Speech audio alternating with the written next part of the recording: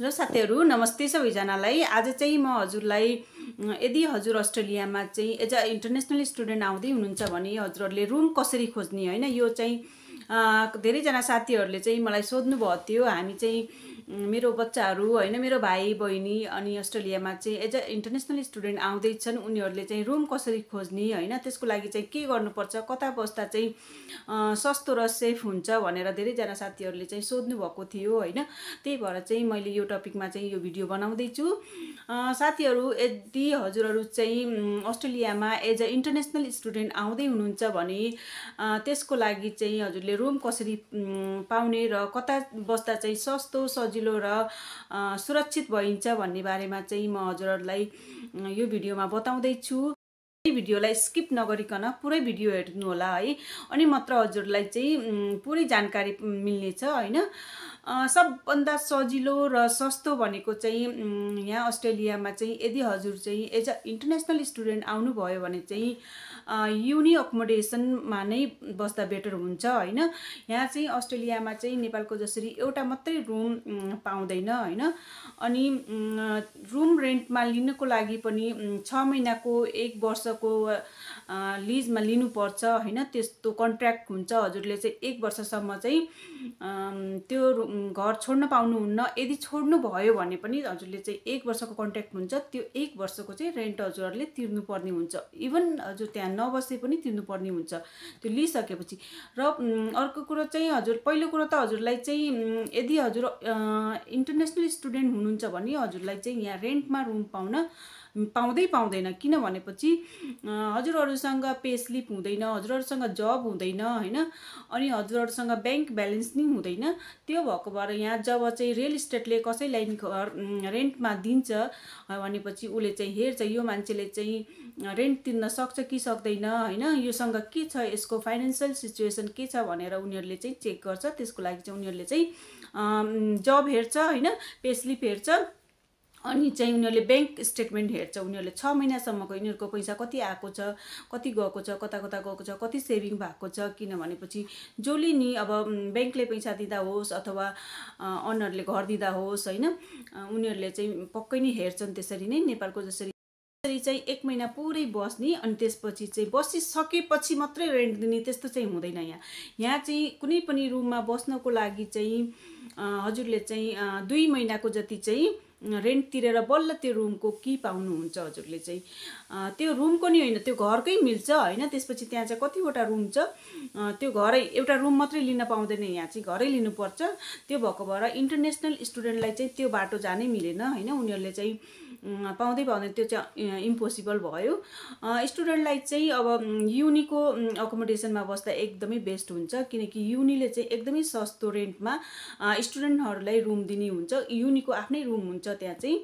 अनि त्यो रुम चाहिँ उनीहरूले चाहिँ हप्ताको चाहिँ एक सय बिस पच्चिस डलरमा चाहिँ पाउँछ हप्ताको होइन? अनि त्यहाँ चाहिँ फुल फर्निचर हुन्छ बेड स्टडी टेबल चेयर होइन? सबै हुन्छ रुम तर रुम चाहिँ सानो हुन्छ होइन? त्यस्तो ठुलो रुम चाहिँ हुँदैन। एउटा एउटा स्टुडेन्टलाई बस्नलाई पढ्नलाई सुरक्षित हुने गरेर हुन्छ र किचन र टोइलेट बाथरुम चाहिँ सेयर गर्नुपर्ने नि हुनसक्छ। किचन चाहिँ डेफिनेटली हुन्छ नै सेयर गर्नुपर्ने।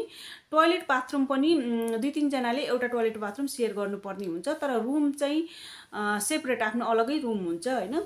अनि किचनमा चाहिँ सबैजनाले सँगै खाना पकाउने त्यहाँ चाहिँ फ्रिज पनि राखिदिएको हुन्छ होइन? अनि कबर्डहरू थुप्रै हुन्छ त्यहाँ सामानहरू राख्ने। अनि त्यही फ्रिजमा चाहिँ सबैले खाना राख्नुपर्छ। अब कतिजनाले चाहिँ पकाएर राख्ने नि गर्छन् त्यही होइन। कतिजनाले चाहिँ अब अलि अलि गाह्रो त हुन्छ नै डेफिनेटली आफ्नो घर जस्तो हुँदैन होइन। त्यही पनि अरूभन्दा चाहिँ त्यो चाहिँ एकदम बेटर आइडिया हुन्छ होइन। किनकि भा इभन भाँडाकुँडा नि हुन्छ त्यो युनिकोमा चाहिँ। हजुरले चाहिँ केही पनि किन्नु पर्दैन आफ्नो ग्रोसरी मात्रै किने पुग्छ त्यहाँ चाहिँ भाँडाकुँडाहरू स्पुनहरू प्लेटहरू सबै पकाउने खाने सबै राखिदिएको हुन्छ। अनि फ्रिज पनि हुन्छ सबै कुरा हुन्छ त्यहाँ चाहिँ। तर पकाउँदा चाहिँ अब त्यही अलि पालो कुर्नुपर्ने हुन्छ होइन? त्यो भएको भएर अलिकति गाह्रो चाहिँ हुन्छ। तर अदरवाइज चाहिँ युनि जानको लागि पनि त्यो सजिलो भयो होइन?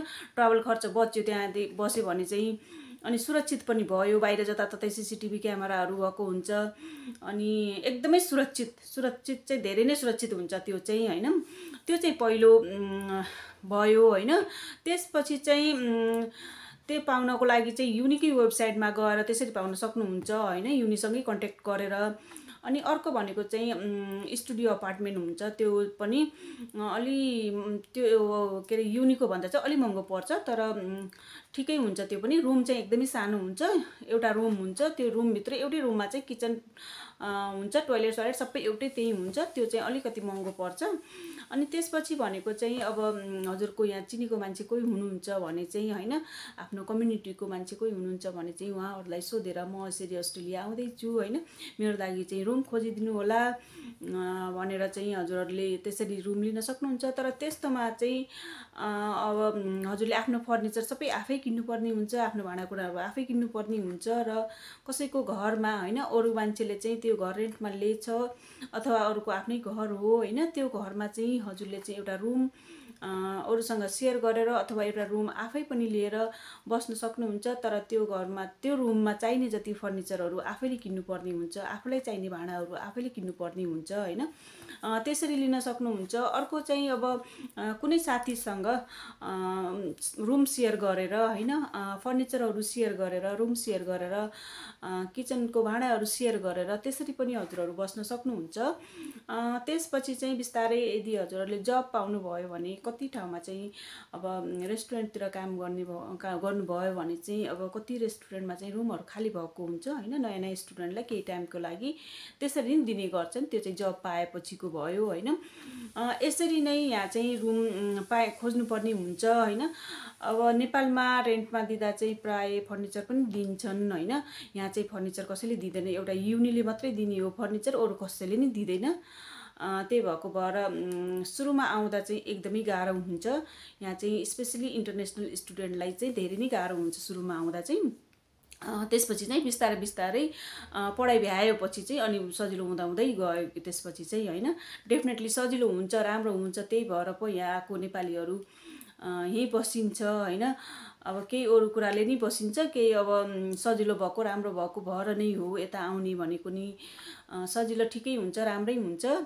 तर स्टुडेन्ट हुँदा चाहिँ एकदमै समस्या हुन्छ स्पेसली आफ्नो मान्छेहरू कोही पनि हुँदैन होइन?